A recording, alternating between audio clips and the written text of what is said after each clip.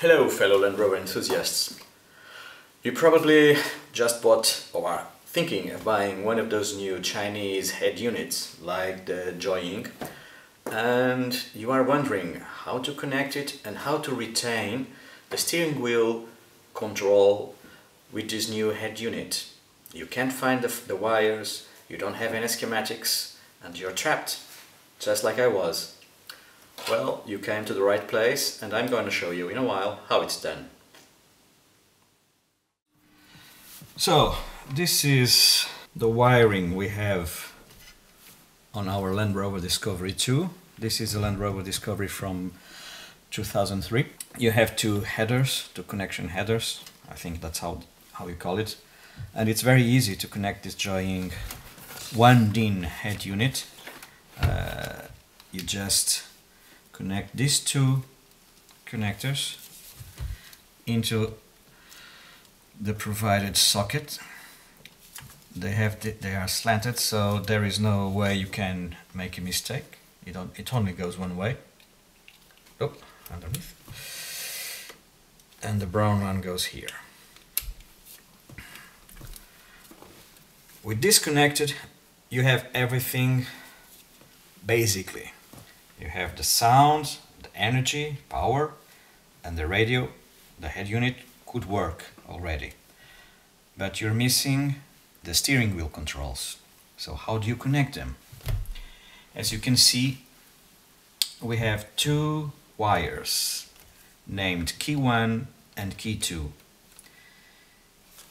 And according to the schematics, you have two wires coming from the steering wheel controls. So you, you would assume key 1 would go to one wire and key 2 would go to the other wire. But that's not correct. You can only connect one of the wires. But first, which wires? Where are the wires that come from the steering wheel controls? I've made a lot of research and I found that into this header there is a SR and SB wire. S means slanted, R means red, and B means black. So we have a slanted red and a slanted black wire. Slanted means it has a white stripe. It's a red wire with a white stripe and a black wire with a white stripe. But this is to show you the color of the wires. So I don't know if it's easily seen but it's a red with a white stripe and a black with a white stripe. But how do you know these are the correct wire? There's one way you can check if these are the correct wires. You use a multimeter, you put it in resistance measuring. The steering wheel controls don't have any power. They just provide different resistance values for each function of the button of the buttons. So when you press any button on the steering wheel controls, you'll have a resistance, a different resistance for each button. So let's try it. I'm going to insert, doesn't matter the order, one of these probes in the red slanted red and another probe in the slanted black. You do this testing, but you have to disconnect the two connectors. They must not be connected, otherwise it won't work. So, to test for the right wires, you insert one of the probes in the black and white wire and the other probe in the red and white wire. Then you check for resistance, pressing volume up. There you have 40, 46 ohm. Pressing the volume down.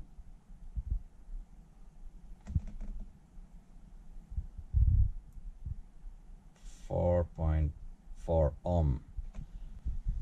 You can be sure that these are the correct wires. Let's go to the next phase, how to connect them. So we've tested our wires, we know which one is it. Now you would assume, since you have two keys, key 1 and key 2, one would go to one of the wires and the other would go to the second wire. But no, you leave alone key 2, you don't need it. It doesn't matter probably which key you choose, which wire you choose, but I left key 2 alone and I just connected key 1 to one of the wires.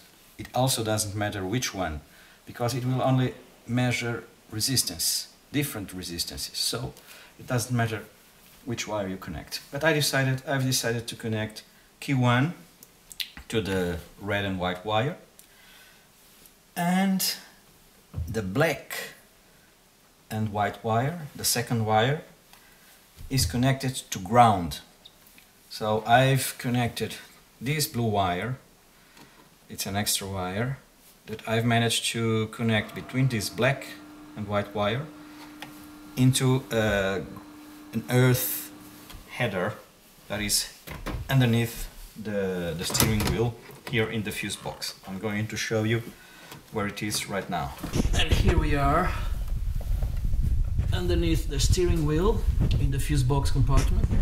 You can see over there the blue wire connected to an, to an earth point. This is one of the car's earth points. I should put a net, nut, a net in there, but right now it's just soldered and it's working perfectly. So, in short, you have from the head unit, you have key 1, you find the red and white wire and the black and white wire that come from the steering wheel controls.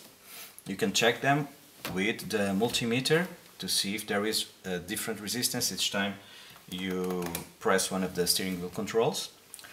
And then you connect one of the keys, key 1 in this case, to one of the wires and the other wire you will connect it to ground and it will work. So let's put, this all together and see the steering wheel controls working for the first time after 14 years. How do you program the, um, the steering wheel controls into this head unit?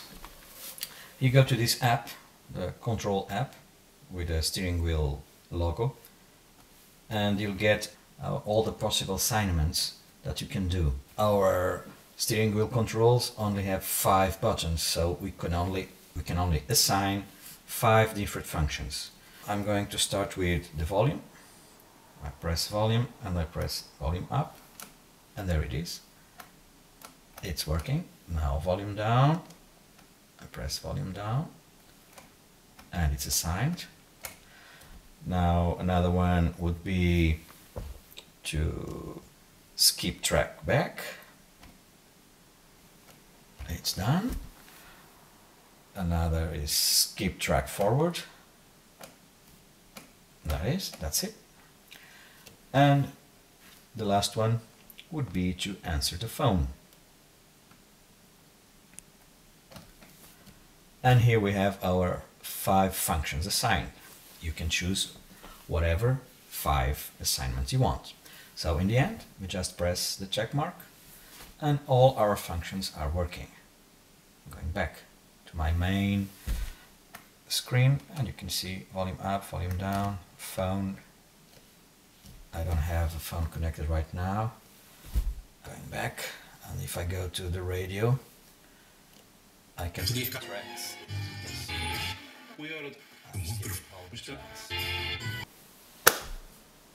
And that's it.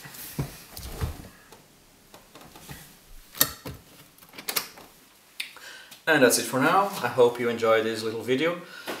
If you have any questions, I'll try to answer them. You can put the questions on the comments below. And see you next time.